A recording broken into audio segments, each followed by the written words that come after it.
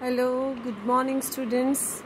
Today we are going to start exercise 11.2 from the chapter number 11 Understanding Shapes. So let's start exercise 11.2 model 1 so model 1 question number is 1 is find x and y in the figures तो ये हमें first part में figure दी हुई है। ये हमें square दिया हुआ है P Q R S P Q R S जो है it is a square P Q R S हमें ये साइड्स की वैल्यू गिवन है। पी क्यू की वैल्यू गिवन है Y plus three Q R is four X minus one R S is eleven and P S is three X plus two तो हमने इसमें x और वाई की value find करनी है तो कैसे करेंगे? अब हमने जो प्रीवियस लेक्चर में मैंने आपको प्रॉपर्टीज़ समझाई थी पैरेललोग्राम की रेक्टेंगल स्क्वायर रोम्बस तो वो इन क्वेश्चंस पे वही अप्लाई होंगी बेटा।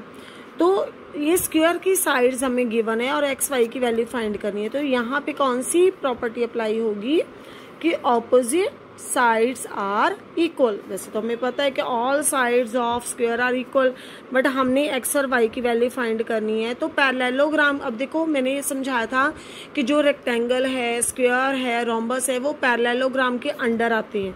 तो जो प्रॉपर्टीज़ पैरेललोग्राम की हैं, वो स्क्वायर पे रेक्टेंगल पे, वो भी एप्लीकेबल होंगी, ठीक है? तो यहाँ पे हम लगाएँगे, फिर ऑपोजिट साइड्स आर इक्वल तो उसके अकॉर्डिंग जो है, वो थ्री एक्स प्लस टू है, वो किसके इक्वल आ जाएगा? फोर एक्स माइनस वन के। तो एक्स की वैल्यूज़ को हमने एक तरफ़ कर देना है कांस्टेंट टर्म्स को एक तरफ़। जब आप साइड चेंज करते हो तो साइन भी क्या होता है? चेंज तो वहाँ से हमारे पास एक्स की वैल्यू आ गई थ्री सेकेंड हम करेंगे Y plus three is equal to eleven तो ये थ्री उधर जाके हो जाएगा minus and we find the value of one okay okay, इसी का बेटा फोर्थ पार्ट है उसमें दिया हुआ है काइट की शेप दी हुई है।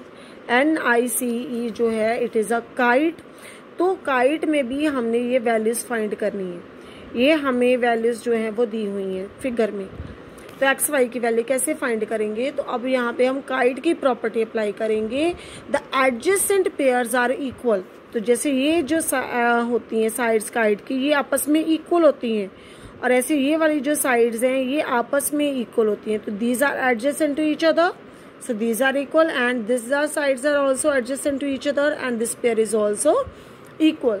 तो 4x एक्स प्लस वन जो है, वो 9 के इक्वल x प्लस वाई जो है, वो 12 के इक्वल तो यहाँ से हमारे पास x की वैल्यू आ जाएगी और यहाँ x की वैल्यू आपने पुट करके y की वैल्यू कैलकुलेट करनी है। तो फ़र्स्ट क्वेश्चन के बेटा टू पार्ट्स के मैंने सोल्यूशन दिए हैं। इसका फ़र्स्ट और थर्ड पार्ट जो है, वो आपने खुद ट्राई करना है ओके अब यहाँ question number two the statement is the sides of the parallelogram are in the ratio 2 ratio 3 if its perimeter is 20 centimeter, find the length of the sides. तो हमें बेटा ये साइड्स पैरेललोग्राम की ratio में दी हुई है।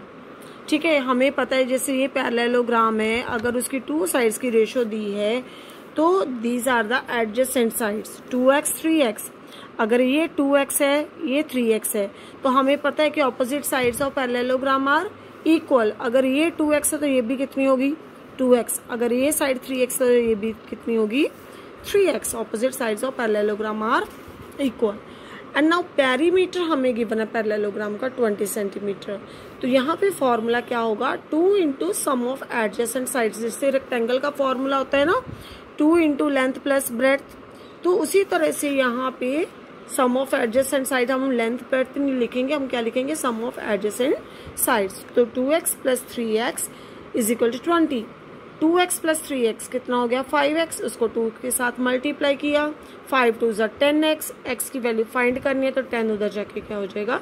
डिवाइड राइट तो ये एक्स की वैल्यू हमने स्टार्टिंग में, जहाँ साइड्स हमने सपोज़ की है, वहाँ हमने सब्सिट्यूट कर देनी है। ओके नाउ क्वेश्चन नंबर बेटा थर्ड है। Consider the following parallelograms find the values of the unknown X Y Z जैसे ये डायग्राम हमें दिए इट इज़ अ पैरेललोग्राम तो ये पैरेललोग्राम दी हुई है। तो बेटा, अब इन क्वेश्चंस में हम पैरेललोग्राम की प्रॉपर्टीज़ अप्लाई करेंगे राइट right? तो सबसे पहले ये देखिए अच्छे से, ये 80 डिग्री सिर्फ़ गेवन है। तो हमारा फ़र्स्ट यहाँ पे दो प्रॉपर्टीज़ अप्लाई हो जाएँगी। Adjacent angles are supplementary second is opposite angles are equal okay तो यहाँ दो प्रॉपर्टीज़ पैरेललोग्राम की अप्लाई होंगी। तो ये देखिए एक्स और 80 डिग्री ये एडजस्टेंट एंगल्स हैं। ठीक है? तो अगर आपने सेवेंथ क्लास में भी टॉपिक पढ़ा है पैरल लाइंस का तो ये पैरल लाइंस हैं और it is a transversal line the angles on the same the interior angles on the same side of the transversal are supplementary तो ये पैरेललोग्राम है तो ऑब्वियसली ये लाइंस भी क्या है? पैरल और ये लाइन क्या है? ट्रांसवर्सल तो ये जो x और 80 है these are the interior angle on the same side of the transversal तो इसलिए इनका सम 180 होगा, ठीक है? तो पैरेललोग्राम में हम इसको क्या लिखेंगे? Adjacent angles of parallelogram are supplementary supplementary means कि इन दोनों एंगल्स का सम 180 है। तो ये 80 उधर जाके हो जाएगा माइनस ठीक है? उसके बाद अगर x की वैल्यू 100 है तो ये मैंने z की वैल्यू फाइंड करने के लिए ए मेंशन कर दिया यहाँ पे। ये स्टेटमेंट में मेंशन नहीं है तो हमने अपनी तरफ़ से ले लिया। ये वाई की वैल्यू कितनी आ जाएगी? 80 degree opposite angles are supplement are equal sorry opposite angles of parallelogram are equal तो वाई की वैल्यू 80 हो गई। ये ए की वैल्यू कित, किसके इक्वल हो गई? एक्स के। तो ए की वैल्यू कितनी हो गई? हंड्रेड अगर ए हंड्रेड है तो हमारे पास जो जेड है वो कितना आ जाएगा?